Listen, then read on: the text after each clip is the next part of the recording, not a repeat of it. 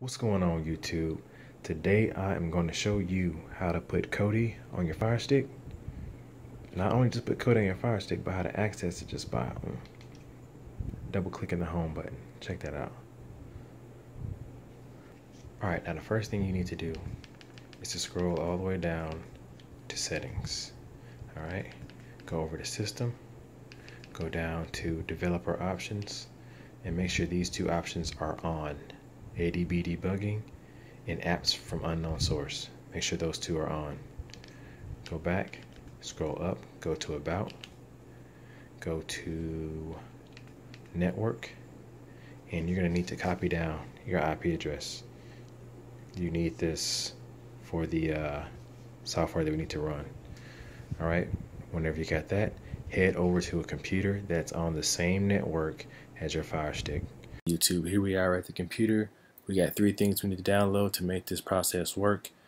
Uh, all three links are in the description box. Just on the video at the bottom it says show more. Just click show more and all, all three links should be in the description. Alright, first up we got Kodi. Alright, here's the page for Kodi.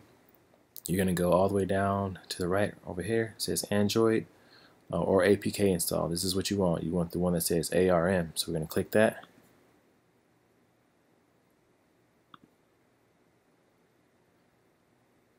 Boom. Down here, you can see it automatically starts downloading. All right, next. Next is the ADBFM 131.dmg. Uh, don't be fooled by this right here. This is just an advertisement whenever you come up to these uh, pages. So don't click that. That's not what you want. You want this right here. Start downloading. Begin download. Right, say standing by. Alright, and then just whichever one of these, I don't really think it matters. Alright, then that's going to start downloading. Alright, and finally, the third link is going to be your Fire, fire Starter. Alright, for this, you're going to come halfway down. It's going to say download latest Fire Starter APK. Boom. Download that one. Alright, it's gonna, which is going to bring you to this page and from here you do your fire starter. You can see the size over here. Download that one.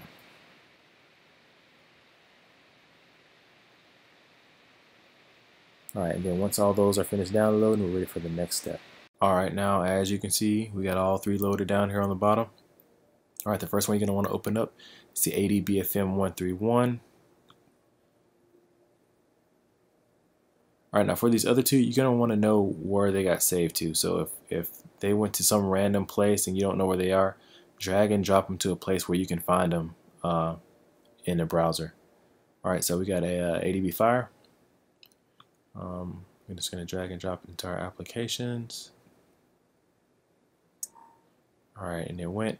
And if you're on a Mac and you've never installed this application before, or you have your security settings set up to where it doesn't allow uh, third-party apps, it's going to come up with a message and it's going to tell you that it's not going to install because of your security settings. I can't remember the exact verbiage, but anyways, you can just go over here, click the Apple button, go to System Preferences, and then right here it'll be um, a button that says Allow or whatever. And then so you just click that and it'll let uh, that download go through. All right, so now it has downloaded.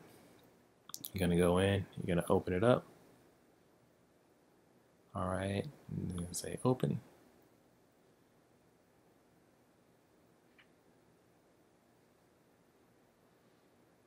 All right, here we are at ADB Fire. Um, it's pretty generic. Only thing you want to do here, you just want to hit new. All right.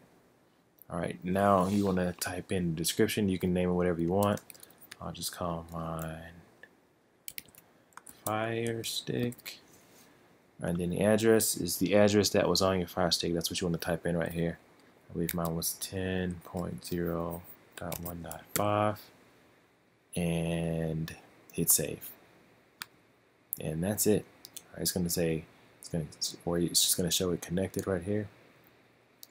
And so now all you want to do is you want to go install APK. And browser window is going to pop up. Now you just go to where your uh, downloads we're at. Right, so here's the Firestarter APK and the Kodi APK. So we're going to do the Kodi APK. Hit yes.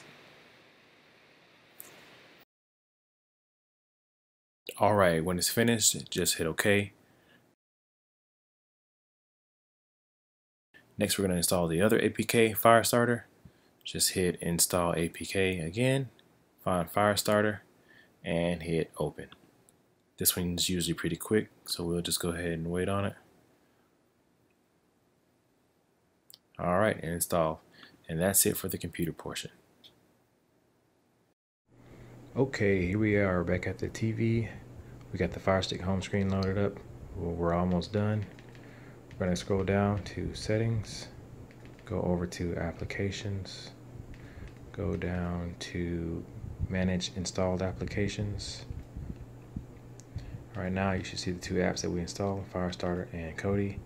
Go ahead and open up Kodi, launch application. It's going to look a little weird the first time it opens up.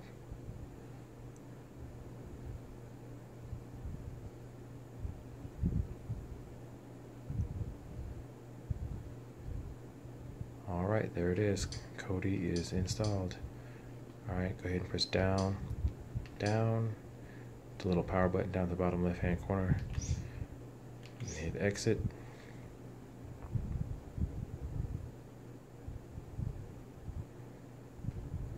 Alright, now we're going to open up Firestarter. Launch application. Go down to settings. Alright, now you're going to go all, all the way down to home button single click application. I don't know if you can see that. Home button single click application. Alright, now what this does is it sets up, uh, if you press the home button one time, you know, it tells Fire Stick, the Fire Stick, what you want to open. I want mine to be the regular default Fire Stick uh, settings. So I just left it as that and then the double click home button I'm gonna go ahead and make that Kodi when I double click the home button I want Kodi to open up. Alright alright so that's set up. Now let's press the home button one time. There we go. Fire Stick home screen. Alright now twice. And there's Kodi. So everything worked out alright YouTube well that's it Kodi's on the Fire Stick as you can see, we got it running right here. Those of you that are new to Kodi might be wondering, you know, where are all the movies and TV shows and stuff like that? Um, but those of you that know Kodi know that this application is a game changer. You can pretty much, you know, cancel your satellite and cable, um, all just based off of this program uh, and its capabilities. Uh, I'm going to be coming out with a few videos on how to get content on here uh, whether it be streaming or adding your own library, or even if you have your own HTPC, like I got down here. Uh, matter of fact, my next video is probably going to be how to share content from uh, your existing HTPC um, to any of your other Kodi libraries. So stay tuned for that. Like the video if it helped you out, and uh, go ahead and subscribe if you want to know more about this program. All right, thanks. Peace.